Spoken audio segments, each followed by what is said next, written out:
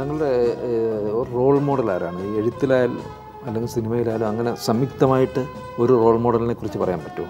ഇല്ല എനിക്ക് പറയാൻ പറ്റില്ല. താങ്കളെ സ്വാധീനിച്ച ആളുകൾ ആരൊക്കെയാണ് ഈ തരത്തിൽ? സിനിമയിൽ സ്വാധീനിച്ച ആളുകൾ.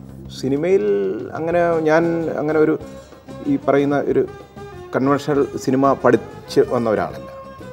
കൂടുതലും ഞാൻ ഒരു നോക്കിക്കണ്ട് സിനിമ മനസ്സിലാക്കാൻ ശ്രമിച്ചിട്ടുള്ളൂ. അപ്പോൾ തീർച്ചയായിട്ടും എനിക്ക് അങ്ങനെ ഒരു മാതൃകയില്ല. മാതൃക ഒരുപാട് പേരുണ്ട്. ഒരുപാട് ആളുകളുടെ മലയാള കുറേ അതെ അതെ ഒരു അത് മാറി മാറി വന്നുകൊണ്ടിരുന്നു സിനിമയിലേക്ക് ഞാൻ എന്റെ ഞാൻ പറഞ്ഞില്ലേ ഒരു ആദ്യകാലം സിനിമയെക്കുറിച്ച് ആലോചിക്കുമ്പം വിൻസൻ വിൻസെന്റ് മാഷും മലയാളത്തിൽ വിൻസൻ മാഷും സേതുമാ സാറൊക്കെ എനിക്ക് മാതൃക ഓക്കെ മാതൃക ഒരു ഒരുപാട് രൂപങ്ങൾ ഉണ്ടാവാം അതിന്റെ ഒരിക്കലും ഒരിക്കലും മാതൃകയാക്കരുത് എന്ന് ആഗ്രഹിച്ചത് ആരെയാണ്? അങ്ങനെ മനഃപൂർവം ഞാൻ എന്റെ ഒരു രീതി ഉണ്ടാക്കണം എന്നായിരുന്നു ആദ്യ സിനിമയിൽ വരും ആദ്യമേ. ഈ ഈ സ്ഥിരം ഈ പറയുന്ന കൺവെൻഷണൽ ഇതിൽ നിന്ന് മാറി ചെയ്യാൻ പറ്റുമോ എന്നുള്ള ശ്രമം എങ്കിലും നടത്തി നോക്കണം? ഒരു ഒരു കഥാപാത്രം താങ്കൾ സൃഷ്ടിച്ച സിനിമയിലെ ആയാലും അല്ലെങ്കിൽ വേറൊരു സിനിമയിലെ ആയാലും ഒരു കഥാപാത്രം ഒരു മനുഷ്യന്റെ മനസ്സിൽ ഒരിക്കലും മായാതെ നിൽക്കണമെങ്കിൽ സംവിധായകൻ സൃഷ്ടാവ് എന്നുള്ള നിലയ്ക്ക് താങ്കൾ ആ കഥാപാത്രത്തിനെ കാണുന്ന മഹത്വം എന്താണ് അല്ലെങ്കിൽ എന്തുകൊണ്ട് എങ്ങനെയായാൽ ആ കഥാപാത്രം മായുകയില്ല. തീർച്ചയായിട്ടും ഞാൻ എനിക്ക് ആ കഥാപാത്രത്തെ ഉൾക്കൊള്ളാൻ കഴിയുകയും ഇപ്പം വേറൊരാളാണ് എഴുതുന്നത്. ഇപ്പം സുഹൃതം എന്ന് പറഞ്ഞ cinema M T Vasu Nair എഴുതിയ സുഹൃതം എന്ന് പറഞ്ഞ സിനിമയിലെ രവിശങ്കർ എന്ന് പറയുന്ന കഥാപാത്രത്തിലേക്ക് ഞാൻ ഞാൻ ഇറങ്ങിച്ചെല്ലണം. എന്നാൽ ഇറങ്ങി അങ്ങനെ ഇറങ്ങിച്ചെന്നിട്ട് അദ്ദേഹത്തിന്റെ ഒരു മനസ്സിന്റെ ഈ ആഴങ്ങളിലേക്ക് പോയാൽ പോലെ അയാളെ മനസ്സിൽ നടക്കുന്നത് എന്താണെന്ന് ഞാൻ എനിക്ക് എനിക്ക് മനസ്സിലാക്കണം ആദ്യം.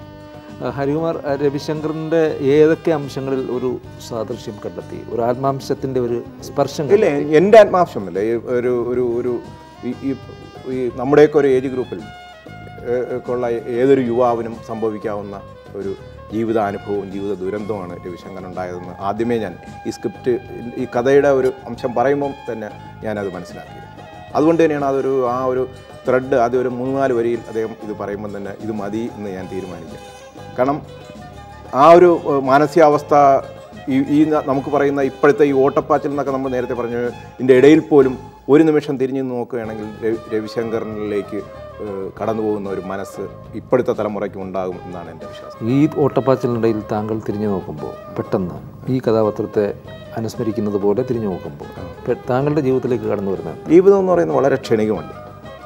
നമ്മുടെ ഈ ഓട്ട ഇതിന്റെ ഇടയിലൊക്കെ വളരെ നിസ്സാരമായി. നമ്മുടെ കൺ നമ്മുടെ തൊട്ടടുത്ത് നമ്മളോട് സംസാരിച്ചുകൊണ്ടിരുന്നു അല്ലെങ്കിൽ ഇപ്പം ഞാൻ പെട്ടെന്ന് ഓർമ്മിക്കുന്നത് നരേന്ദ്രപ്രസാദ് സാറിനെ.